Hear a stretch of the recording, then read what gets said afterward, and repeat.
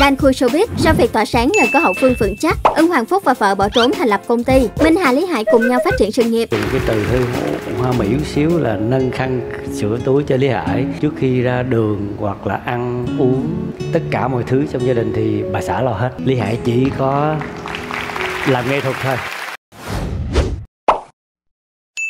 Lý Hải Minh Hà nhắc đến những sao nam Phoebus có hậu phương vững chắc, không thể không kể tên Lý Hải. Theo đó, suốt hơn 10 năm kết hôn, sau nam lật mặt may mắn được vợ đứng sau hỗ trợ nhiều việc, từ chuyện gia đình cho đến các hoạt động nghệ thuật, anh luôn yên tâm vì có nửa kia đứng sau. Thậm chí không quá lời khi nói, sự thành công của anh cũng có công lớn của người vợ Tào Khang. Nói về Minh Hà, vợ của Lý Hải, cô được nhiều người biết đến với danh xưng Hoa khôi trường luật. Trước khi quyết định yên bề gia thất bên ông xã ca sĩ, Minh Hà có thời gian sang Anh học thạc sĩ ngành luật thương mại quốc tế. Sau kết hôn, bà xã nam diễn viên từ chối nhiều cơ hội thăng tiến và lui về làm quản lý riêng, đồng đồng hành giúp chồng phát triển sự nghiệp. Song song đó, cô lần lượt hạ sinh bốn nhóc tỳ để thỏa lòng mong ước làm mẹ. Trong mắt khán giả, Minh Hà là một người vợ vừa xinh đẹp, vừa có tri thức lại khéo léo. Cô không chỉ phun vén gia đình hạnh phúc, nuôi con ngoan ngoãn mà còn giúp chồng xây dựng sự nghiệp thành công. Nhất là trong khoảng phát triển sự nghiệp làm phim của chồng, Minh Hà đóng góp công lớn khi đảm nhận vai trò nhà sản xuất. Nói về một trong những bí quyết hỗ trợ chồng của mình, cô cho hay: "Tôi quản lý các kênh mạng xã hội của công ty và hai vợ chồng, thường xuyên tương tác với khán giả fan nên cũng có phần hiểu họ thích gì, thấy được thị trường thiếu gì. Tôi lại vốn lười nghe lười đọc nên khi tôi thực sự thấy hứng thú tò mò và hỏi chồng. Rồi sao nữa anh, thì khi đó cả hai vợ chồng biết được ý tưởng này có vẻ tiềm năng để đi vào triển khai làm phim. Ưng hoàng phúc, kim cương.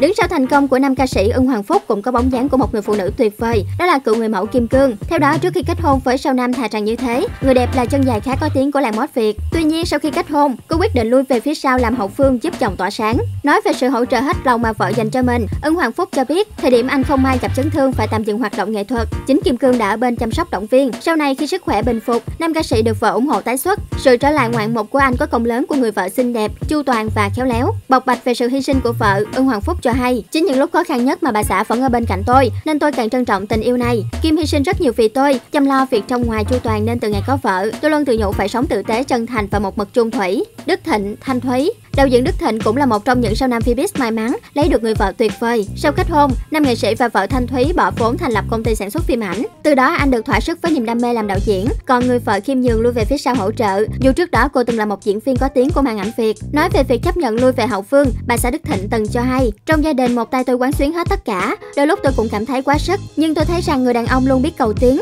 mình nhìn vào điểm mạnh đó để có thể bao hết những việc bên ngoài. Tôi chấp nhận lui về hậu phương để anh Thịnh tập trung phát triển sự nghiệp. Quan trọng là người đó có xứng đáng với sự hy sinh của mình hay không và anh Thịnh xứng đáng với hy sinh của tôi. Xưa nay thước đo thành công của người đàn ông thường được đánh giá dựa trên tiền tài và địa vị, nhưng thực chất đàn ông giống như phụ nữ đều hơn nhau ở người bạn đời đi cùng. Giống như Lý Hải, Ưng Hoàng Phúc và Đức Thịnh, họ may mắn lấy được những người vợ tốt nên có thêm động lực yên tâm phát triển sự nghiệp, từ đó tạo được nhiều quả ngọt, gặt hái cả tiền tài lẫn danh vọng khiến bao người phải ngưỡng mộ. Có thể hiểu cuộc sống vốn dĩ luôn có sự cân bằng, phụ nữ hơn nhau ở tấm chồng thì đàn ông cũng hơn nhau ở người vợ đi cùng. Phụ nữ mong muốn lựa chọn người chồng tốt, tâm lý và biết yêu thương vợ con thì đàn ông cũng khao khát chọn người bạn đời khéo léo chu toàn, biết phung phén gia đình. Hay nói đúng hơn, hạnh phúc và thành công của đàn ông lẫn phụ nữ đều phụ thuộc ít nhiều vào người bạn đời mà họ lựa chọn. Và để nói đâu là tiêu chí để chọn lựa một người bạn đời xứng đáng, mỗi người chắc chắn sẽ có những tiêu chí riêng, nhưng hãy chú trọng cân nhắc tính cách, vẻ đẹp nội tâm và trí tuệ của người ấy.